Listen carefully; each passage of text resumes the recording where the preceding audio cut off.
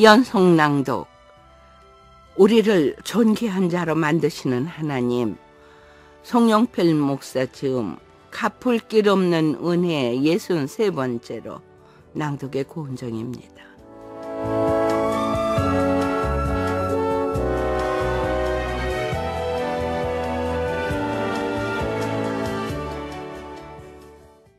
그런데 그 즈음 인터내셔널 대학 이사장이 바뀌면서 학교 이전이 거론됐다. 오스트레일리아 동쪽 피자 섬으로 학교를 이전하는데 같이 갈 사람을 지원하라고 말했다. 마침 그즈음 김장한 목사님을 만나게 돼 그 상황을 얘기했다. 그랬더니 김장한 목사님은 마치 기다렸다는 듯이 말했다.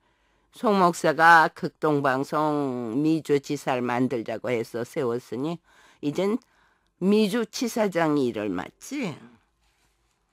미국 로스앤젤레스에 있는 극동방송 미국 본부 안에는 코리아 데스크라는 한국 극동방송 북미 업무를 하는 사무실이 있다. 극동방송은 세계 4대 방송사 중 하나다. 그래서 다가오는 국제화 시대를 대비해 직원들의 국제 감각과 영어 향상을 위한 교육이 필요했다. 그래서 국장급을 2년마다 받고 미국에 파견하면 효과가 있을 것 같았고 또 미국에 사는 교포 중에 공산군 선교에 관심 있는 크리스천들과 동역을 하기 위해 1983년에 설립하자고 제안해 세워진 곳인데 지금도 잘 운영되고 있다. 나는 하나님의 뜻으로 알고 LA 가서 극동방송 미주 지사장 일을 맡게 됐다. 그런데 간혹 한국에 출장 와서 젊은 직원들과 얘기하다 보면 여러 사람이 자기들도 언젠가 LA 지사에 가서 일하고 싶다고 했다. 어느 날 문득 스쳐가는 생각이 있었다. 내가 지사장 자리를 차지하고 있는 건 젊은 친구들에게 기회를 뺏는 것과 같다는 생각이었다. 그래서 기도 중에 1년 뒤에 자리를 물려주기로 하고 퇴임을 했다. 퇴임을 하고 나니 여기저기서 함께 일하자고 연락이 왔다.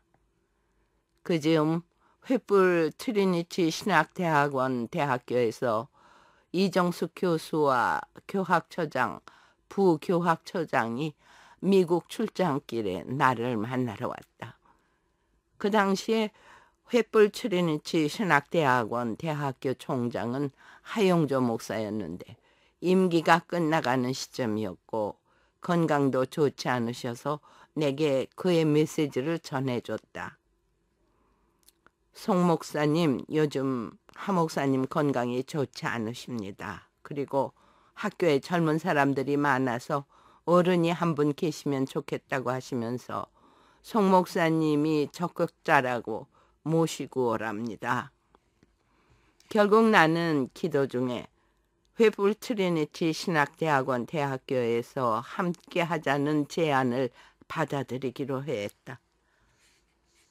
그 말은 다시 미국에서 한국으로 가야 한다는 것을 뜻했다. 또 이사를 해야 한다. 그래도 자식들이 가까이 있는 미국에서 안정된 생활을 다시 시작하는 아내에게 미안해서 어떻게 할지 물었다. 아내의 답이다. 갑시다. 운전사가 가자는데 가야죠. 그래서 아내와 나는 다시 한국으로 돌아왔다. 그때가 2007년이었고 내 나이 69세 때였다. 이 나이에 주님이 다시 써주시는 것이 그저 감사할 따름이었다. 나는 학교를 위해서 해야 할 다섯 가지를 스스로에게 약속하고 실행했다. 학교에선 나를 대외협력 부총장으로 임명했다. 첫 번째는 학교 개교 10주년 기념 행사를 의미 있게 하기였다. 2008년이 학교 개교 10주년이었다. 뭔가 의미 있게 기념 행사를 하고 싶었다. 그래서 기도 중에 미국의 유명한 CCM 가수인 스티브 그린을 한국에 초청했다. 스티브 그린은 큰아들 잔과도 친구였다. 스티브 그린은 한국에 와 미 8군을 비롯해 여러 교회에서 공연을 했다. 남산 음악홀에서 콘서트도 하며 10주년 행사를 성황리에 마칠 수가 있었다. 두 번째는 학교 발전기금 목무하기로 결정을 했다. 그동안 우리 학교는 한 사람에게만 의존하던 구조였다. 하나님께서는 하나님을 믿는 우리들이 하나님께 의존하시길 바라시지 사람에게 의존하는 걸 바라시지 않을 거라고 생각했다. 학교의 재정적인 문제는 주님의 뜻에 따라야 한다는 것을 깨우쳐 주셨다.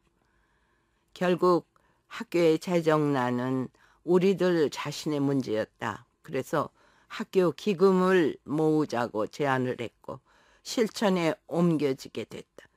학교의 어려운 상황 해결은 가까이에 있는 우리부터 먼저 시작해야 한다며 교수진부터 자발적으로 발전기금 모금에 참여하도록 했다.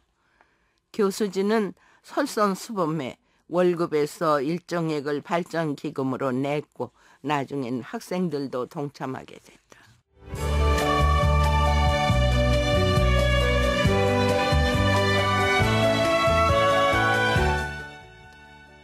연속 낭독 우리를 존귀한 자로 만드시는 하나님 송영필 목사 지음 갚을 길 없는 은혜 63번째로 제작 윤재희 낭독 공정이었습니다.